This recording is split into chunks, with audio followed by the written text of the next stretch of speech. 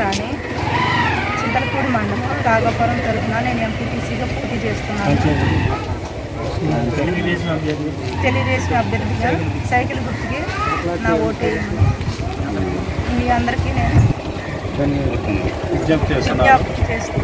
నాకు సైకిల్ నా- సైకిల్ గుర్తుకునే నా- నాకు సైకిల్ గుర్తుకి ఓటు వేయమని మెజార్టీతో పార్టీ గెలిపించుకోవాల్సిందిగా కోరిక మెజార్టీతో చేస్తున్నాం గెలిపించండి పశ్చిమ గోదావరి జిల్లా చింతలపూడి మండలం రాఘవపుర గ్రామం. నేను ఎక్స్ సర్పంచ్ని.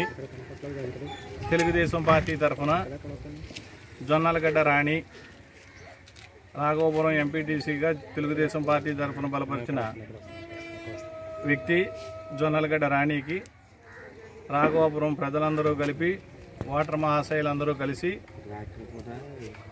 జొన్నలగడ్డ రాణిని గెలిపించి అఖ- అఖండ మెజార్టీతో గెలిపిస్తారని. అలాగే మేము పూర్వం సర్పంచ్గా పనిచేసినప్పుడు రాఘవాపురం గ్రామంలో పలు విధాలైన పనులన్నీ చేసుకుంటూ వచ్చాము. సీసీ రోడ్లు ప్లస్ గ్రామ అభివృద్ధి పనులు డ్రైన్స్ బీటీ రోడ్లు దాదాపుగా సుమారుగా ఐదు సంవత్సరాలలో ఒక పది కోట్ల రూపాయలు పనులు చేస్తున్నాము. అలాగే గ్రామ పంచాయతీ కార్యాలయం నిర్మించాము. అంగన్వాడీలు కమ్యూనిటీ బిల్డింగ్స్ చాలా వరకు చేసి ఉన్నాము.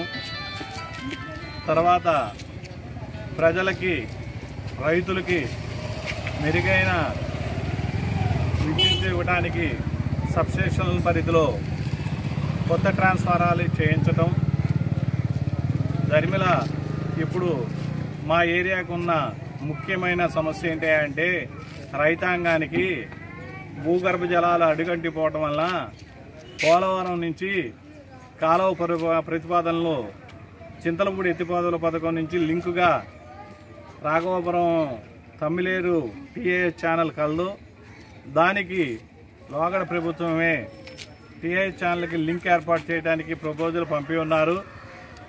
అది గనక సక్సెస్ అయ్యి మాకు ఆ ఛానల్ కనుక వచ్చినట్లయితే రాఘవపురం చింతలపూడి మండలంలో ఉన్న ఏరియాలో పదిహేను వేల ఎకరాలకు ఇరవై మూడు చెర్లకు మంచి అభివృద్ధి అవుతుంది. గత ప్రభుత్వం చేసిన ఆయాము పోలవరం ప్రాజెక్టు అమరావతి ఇవన్నీ మీరు చూస్తూనే ఉన్నారు. అవన్నీ ఇప్పుడు ప్రభుత్వం మొత్తం స్టాప్ చేసేసి వాళ్ళు సొంత విధానాలతో వెళ్తున్నారు. మళ్ళీ మీ ప్రజలందరూ కలిపి పూర్వ వైభవం తీసుకొచ్చి తెలుగుదేశం పార్టీ స్థానిక సంస్థల దగ్గర నుంచి మళ్ళీ రాష్ట్రం వరకు చూసినట్లయితే మళ్ళీ పోలవరం ప్రాజెక్టు అమరావతి ఈ నిర్మాణాన్ని సాగుతాయి.